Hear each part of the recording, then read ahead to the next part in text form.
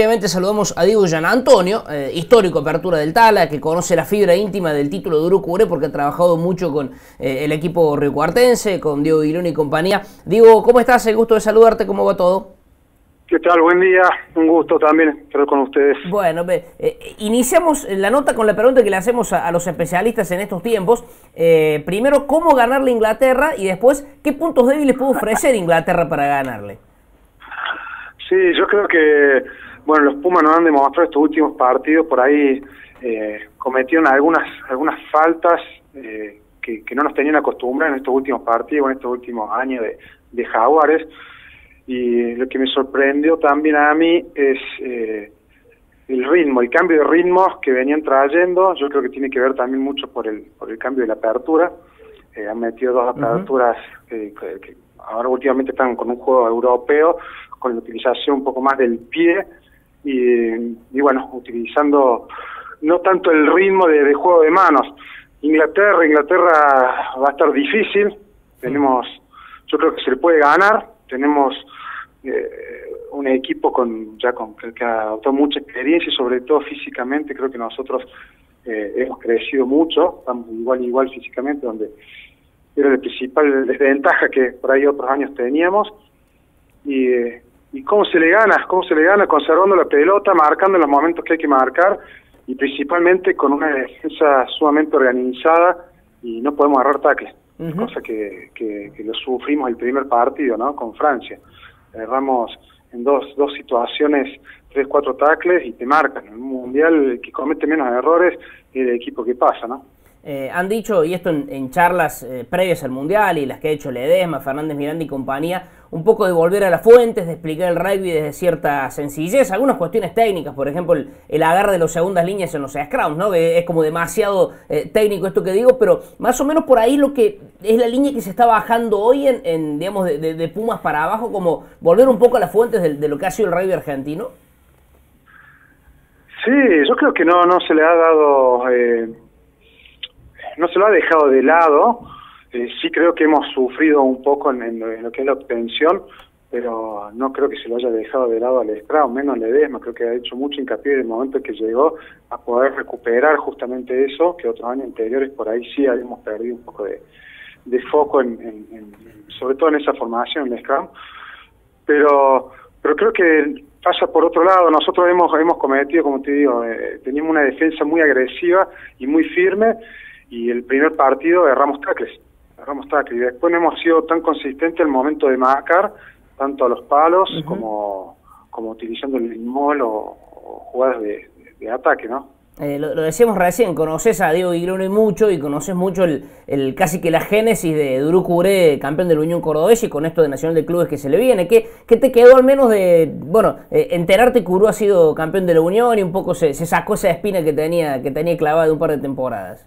Sí, yo muy contento, creo que sí, hace muchos años que Uruguay viene trabajando muy bien, lo conozco mucho, Dieguito es un gran amigo, eh, y creo que lo que han logrado justamente este año, y por eso han, llegado a salir campeones, han conservado esa fortaleza de forward, de juego de delanteros, pero a su vez han logrado armar un complemento con los tres cuartos, han logrado, creo que ha sido un, gran hallazgo eh, ponerlo a Abrile de Win, estuvo muy bueno que haya vuelto el Manu, eh, después una buena pareja de medios que gracias a Dios este año no han tenido lesiones, entonces han podido eh, jugar todo el año y tener continuidad, creo que el 10 ha sido de, muchísimo peso en, el juego de este año, hemos visto la utilización del pie, ese tipo con mucho carácter también, que sabe conducir muy bien esos tres cuartos, y bueno, y al fondo también creo que han, tanto al fondo como en, el centro de la cancha, eh, equipos que, que, han defendido muy bien.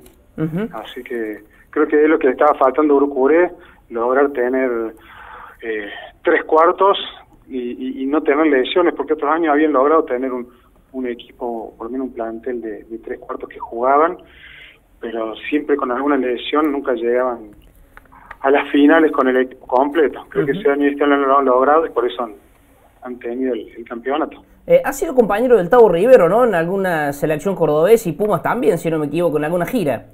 Sí, sí, sí, hemos jugado junto con el Tavo. Eh, lo, que te quiero preguntar es, eh, eh, para, para los, digamos, más pibes o los que nos están escuchando que a lo mejor no lo vieron al Tavo jugar, ¿qué era el Tavo Rivero como jugador? Bueno, era un, gran pilar, ¿no? Un gran pilar, tipo con, con, con mucha presencia, una fortaleza increíble. Y no, nada, un tipo muy comprometido que la verdad que que yo lo querría tener en mi equipo siempre, ¿no? Eh, te hago las últimas, en 2004 estuviste en una final histórica jugando para Perpiñán, un equipo que es del casi de la Cataluña francesa, por así decirlo, bien bien del sur de Francia contra el Stade francés en París, retiro Diego Domínguez, otra apertura cordobés tremendamente exitoso. Eh, hoy a la distancia y con 15 años que han pasado, ¿qué, qué recuerdas de aquel partido? Mira, la verdad que fue una experiencia tremenda y te, te, aclaro que es la Cataluña francesa, son, son bien catalanes ahí en Perpiñán de hecho tienen los colores. Claro, de, la señera, de la bandera. Sí, sí, sí, sí, sí, son, son catalanes a muerte, tanto como los, los barcelones. Y después de, esa experiencia, nada, fue increíble. Mismo la semifinal, ya haber jugado con, con el estadio completo, toda la gente trasladándose allá. Después a, la final de París, ahí en, en la Torre Eiffel, toda la gente haciendo grilladas que le llaman ellos, haciendo una asadito abajo de la Torre Eiffel, fue muy pintoresco, obviamente después lo vimos nosotros por video, ¿no?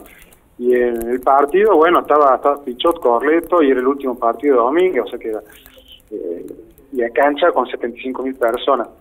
Nosotros ahí, la verdad que sufrimos mucho porque se nos había lesionado Scott Robertson, el actual entrenador de, de, los, de los Crusaders. eh, se había lesionado el número 8, así que el pobre Flaco Rimas tuvo que pasar a jugar de 8. Y Pichot, la verdad que nos volvió locos con, eh, con la salida de las pelotas de Scrum. No estuvimos tan preciso el comienzo y después, bueno, fuimos levantando, pero no, no nos alcanzó. Pero bueno, fue una experiencia realmente increíble haber jugado en esa cancha y una final del campeonato francés que, que cada vez levanta más el nivel, ¿no? Eh, y te hago la última y te agradezco esto para el, el Lego, el tipo que no conoce mucho de rugby y que, y que no sabe bien. Eh, ¿Cuál es la diferencia eh, en dos líneas ¿no? que hay entre Sudáfrica, Australia y Nueva Zelanda? Digo, ¿qué? en maneras de vivir el rugby. En manera de vivir el rugby, bueno, eso no sé, yo te puedo decir de cómo los veo yo, ¿no? Yo creo que Sudáfrica es un equipo que trata de someterte, eh, un equipo muy fuerte, lo hemos visto ahora también con Italia, y digo que Italia porque se los dos pilares, no tuvieron que disputar el Scrum porque se venía realmente una, una gran paliza y de mucho desgaste también en esa formación, donde trabajan mucho el Scrum, trabajan mucho el MOL, y, nada, y esto de, llevarte puestos por encima. Eh, Nueva Zelanda creo que tiene la misma fortaleza, pero lo utiliza en, elevación y creo que uno de los equipos es el equipo más técnico que yo que yo encuentro o sea son hacen cada una de las destrezas utilizadas en el momento justo. Y Australia es el equipo más impredecible, creo que siempre le gusta eh, crear, es un equipo que yo lo veo que tiene mil jugadas de line, mil jugadas de lanzamiento de scrum, eh, un equipo también muy técnico, pero también más, más evasivo, por ahí no tan, tan poderoso como, como Sudáfrica y Nueva Zelanda.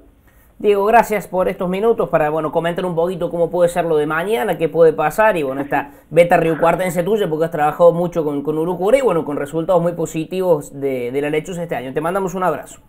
Bueno, un abrazo grande, ha sido realmente un placer, me hiciste recordar que habíamos trabajado juntos ahí en Uru con, con Dieguito y con los chicos, les mando un saludo grande, felicitaciones por el, por el gran año, que sigan creciendo y nada, un placer haber compartido este momento con ustedes. Bueno, abrazo grande, Diego. Eh, Diego Gian Antonio, quien es eh, entrenador, eh, ha trabajado en Pumitas.